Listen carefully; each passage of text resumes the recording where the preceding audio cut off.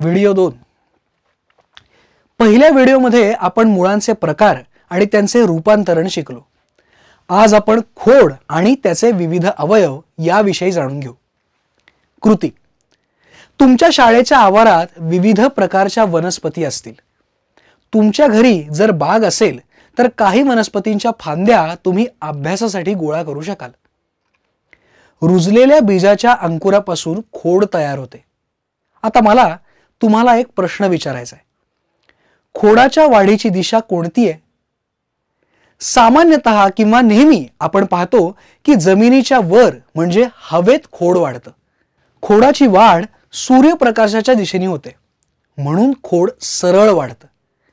आता आपण नमुन्यांच्या मदतीने खोडाचे अवयव समजून घेऊया. मुलांनो तुम्ही बघू शकाल की झाडाच्या खोडावर पानं फुटली आहेत. ज्या ठिकाणी पानं फुटतात त्यांना पेर असं म्हणतात. दोन पेरांच्या मधल्या अंतराला कांड असे म्हणतात. खोडाच्या अग्रभागी असलेला सर्वात युवा अवयव म्हणजे मुकुल. या मुकुलामुळे खोडाची वाढ होत राहते. पेरांच्या जागी खोडाला फांद्या फुटतात. तुम्ही विविध उंचीची खोडं बघितली आहेत का? खोडाच्या उंचीनुसार वनस्पतींचे औषधी झुडूप आणि झाड असे वर्गीकरण केले जाते. तुळशीचं उदाहरण घ्या. ही औषधी वनस्पती आहे. आणि हे झाड छोटे असते. जास्वंद आणि पेरूचे खोड लाकडी तपकिरी रंगाचे आणि कठीण असते. ही झुडूप पाच ते साठ फूट वाढतात. आता आंबा नारळ ही झाडं बघा. कसा याचं खोड? हे कठीण तपकिरी लाकडी असून खूप उंच आहे यांना वृक्ष म्हणतात. आता आणखी काही वनस्पती बघू. तुळस वड आंबा ज्यांना खूप फांद्या आहेत आणि गवत ऊस मका ज्यांना फांद्या नाहीत.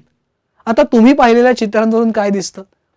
कोणत्या वनस्पतींना फांद्या आहेत आणि कोणत्या विना फांद्या आहेत?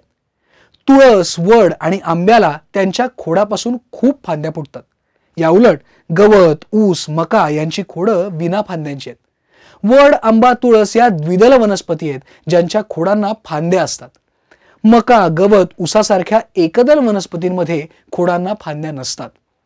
आपण खोडांचे अवयव बघितले पण वनस्पतींमध्ये खोडाची कार्य काय असतात? खोडे फांद्या पानं फुलं आणि फळं तयार करतात. खोड मुळापासून झाडाच्या किंवा वनस्पतीच्या इतर अवयवांकडे पाणी आणि खनिज वाहून सुद्धा नेतात. पानांनी तयार केलेले अन्न खोडामार्फत वाहून नेले जाते. खोड उजळणे. अंकुरापासून निर्माण होते. सूर्यप्रकाशाच्या दिशेने वाढते. यावर पेर आणि कांडे असतात. अग्रभागी वाढणारं टोक असतं. फांद्या नसलेलं खोड एकदलीय वनस्पतींमध्ये असतं. फांद्या असलेलं खोड द्विदल वनस्पतींमध्ये असतं. नुकतंच तुम्ही सध्या खोडाविषयी शिकलात. पण तुम्हाला हे माहिती आहे का की खोडं सुद्धा वेगवेगळ्या प्रकारची आणि मापाची असतात? मला माहिती आहे हे विश्वास ठेवायला जरा कठीण आहे. मी तुम्हाला काही तुमच्या ओळखीची चित्र दाखवतो. ही सगळी खोड आहेत पण ती जमिनीखाली वाढतात. आल्यामध्ये तुम्हाला पेर आणि कांड दिसतील. बटाटे सुद्धा फांदीच्या टोकाला उगवतात. कोंब आलेले बटाटे पाहिलेत का तुम्ही?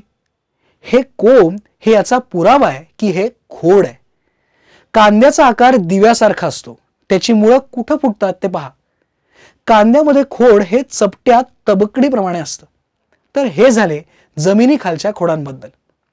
आता आपण खोडांबद्दल अजून काही उदाहरणांमधून अधिक जाणून घेऊया. मला सांगा बागेत हिरवळ कशी जोपासली जाते? जेव्हा हिरवळ लावतात तेव्हा गवताची झाडं जमिनीत थोड्या थोड्या अंतरावर लावतात.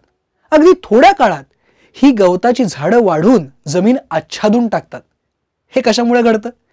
कारण वेगाने वाढण्यासाठी गवत धावती मुळं तयार करतं. ही वैशिष्ट्यपूर्ण खोडं आहेत. लिंबू पोगनवेलसारख्या वनस्पतींमध्ये संरक्षणासाठी खोडाला काटे असतात. निवडुंगामध्ये हिरव्या पानासारखा दिसणारा अवयव हा खोड असतो. सारांश तर आज तुम्ही खोड आणि त्याच्या इतर भागांसंबंधी जाणून घेतलं.